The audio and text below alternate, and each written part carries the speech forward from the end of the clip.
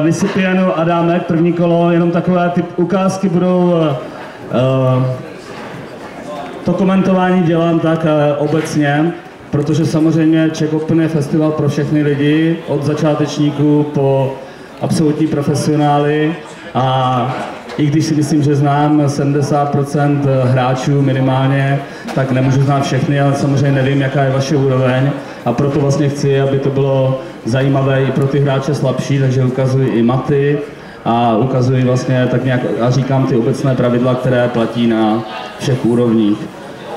Um, so uh, now we will go through the games of the first round yes, from the yesterday.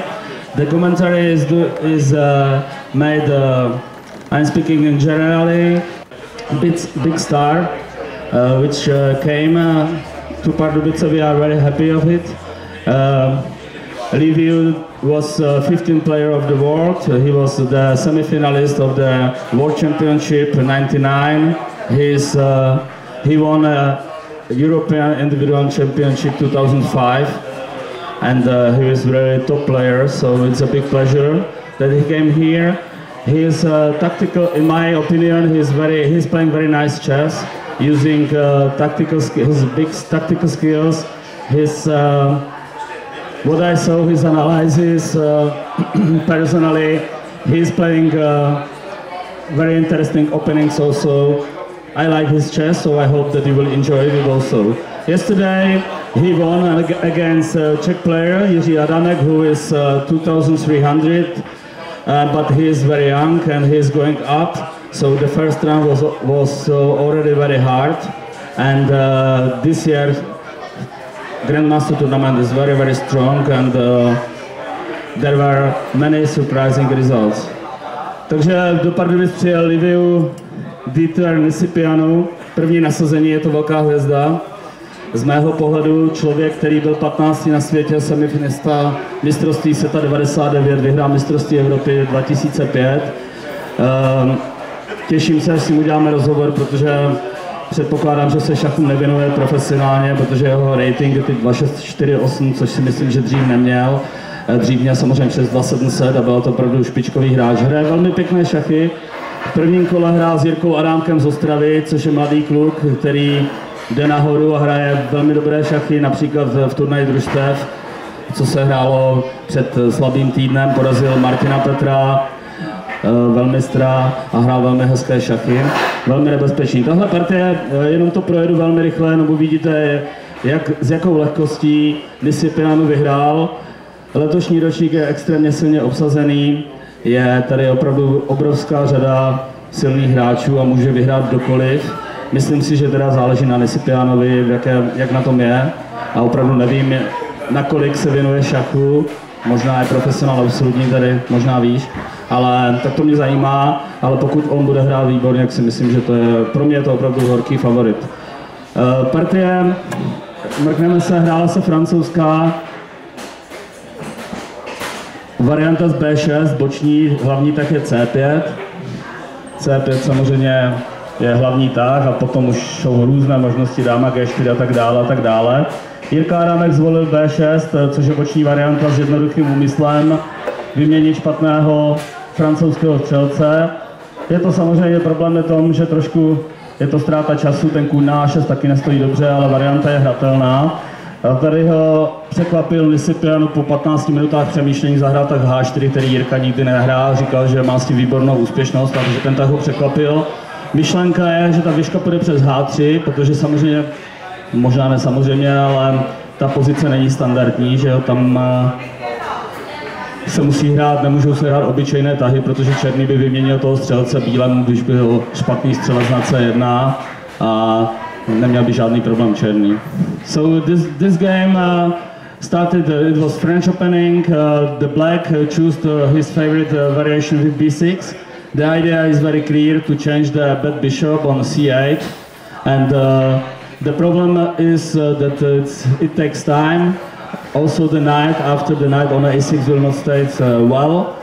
But uh, black uh, has very good results with it. Uh, Nisipianu took 15 minutes and then surprised black with the move h4. The idea is to put, it's going h5, h5, h6 to make weak black squares and also to use the rook with uh, rook h1 or rook h3. Takže partie pokračovala logickými tahy s H, H5, myšlenka bílého je jasná, zahraje H6 a po G6 střelec G5 využít těch slabých černých polí, protože černý nemá černopolného střelce. H6 logický tah, dáma G4, slabina na G7, jezdec F5, krásné políčko pro jezdce, a jak se říká, je potřeba vyměnit nejlepší figuru soupeře, což je ten jezdec na F5, takže bílý logicky kuně 2, dáma D7, kuň G3 a chce ho vyměnit. Teď vlastně nastal možná, už přišla možná rozhodující chyba, i když to tak nevypadá, ale jak jsem se na tu partii díval, tak uh, opravdu je těžké najít, uh, najít cestu pro toho černého, jak vyrovnat. Poté, teď měl černý zahrát určitě tak uh, Rošáda, a teď vlastně nejde, pokud je 5 EF5, bude vlastně vyset ta dáma a černý vylepší jezdce a měl by stát úplně bez problému. Jirka zahrál G8 s tím, že potom půjde velkou rošádu. So now it was the, the game continue changing the bishops. H5 with the idea to make H6 and uh, after G6 uh, bishop G5 to use the weak uh, black squares. So logical move H6, Queen G4 attacking uh, weak point G7, knight f5, logical move, and now very important, the best piece of black is knight of f5, so logical changing. So knight e2, queen d7, knight g3, and now maybe the decisive mistake. I am speaking decisive because we are speaking about top level player. There are not mistakes like uh, losing piece or pawn, something like this, but very, so now should be castle, should be the red move, and then uh, the position of black should be okay. I think it's a cool position, normal position. But after g8, black is going uh, to make a big castle, and you can see the free, or I don't know how to say in English exactly, in chess, free uh, B line, which is uh, of course helping uh, attacking black king. Takže teď vzal na F5, dáma E2, černý kuň B8, kuň C6 logicky vylepšuje postavení toho jezdce a věž H3. Ta věžka teď uvidíte, kam půjde. Věž F3 napadá toho pěšce na F5 a kuň E7 A4. Tady uh, teď bílý chce zahrát střelec A3 někdy, případně bude vyset na tom F5. A problém je, co neviděl, uh, co neviděl Jirka. Jirka vlastně v téhle pozici přemýšlel o zajímavém tahu věž H7 tady chtěl zahrát věž H7, což normálně vypadá hrozně, ale vysvětloval mi to tím, že vlastně tady v této pozici nemůže zahrát G6. Protože on chce vzít samozřejmě, on chce vzít pěšcem na G6 a tady vysí ten pěšec na H6. Takže to jsou takové jemnosti, které se projeví za pět tahů a potom už s tím nejde moc dělat. Jak vidíte, kůň na E7 katastrofálně stojí zase pro změnu na 6 v blbě na E7 stojí stejně blbě. A protože nemá kam jít, jenom brání. Bílý A4 a tady přichází ještě jeden kritický moment a potom už je partie asi opravdu rozhodnutá, že tady černý měl, měl zahrát správně A5, protože postřelec A3 černý normálně vezme na A4. Tady visí ta věžka věžka na A1 nemůže vzít na E7, protože vysí věž na A1. Takže měl zahrát A5 a zbrzdit ten útok toho, uh, toho bílého. So now uh, another important moment. Uh, the idea of uh, Jirka Adamek, the black, black player here, was to rook h7. For me, I am a classical player who I wrote uh, many Russian books when I was young because uh, here was communism and I wasn't, uh, there was no possibility to read in another language uh, almost than uh, in Russian. Uh, so for me this move looks very ugly, but here is, I will show you the idea of the black. He told me about it in Analyze yesterday. You will see it here, that he wanted to play g6, because the knight on c6 is very good stated, and he can go a5, c4, but he is not possible to get, he is not, not possible to play g6 because the pawn on h6 is hanging. So um, uh, the another thing here in this position, white wanna play a5, open the position of black king, of course the first rule. And here he should play a5 because it's not possible bishop a3 because of the rook on uh, a1 is hanging, so he cannot take.